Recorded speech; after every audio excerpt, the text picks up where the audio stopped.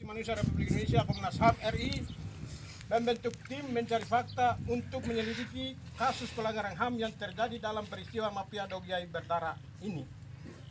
Satu. Yang kedua, meminta kepada Kapolri dan Kapolda Papua untuk menangkap dan memeriksa dan harus dihukum terhadap anggota Polres Dogiai yang menewaskan Julian Stebai dan empat orang warga sipil lainnya mengusut tuntas kasus penembakan dan pembunuhan di luar hukum ini secara transparan, akuntabel, imparsial dan independen. Kita ini maka kai kita kita maka apa ini kita ini konten. Kayak kacau ini rekomendasi. Oke, kayak ini dan ini, kalau mau kayak kamu nanti hal kacau.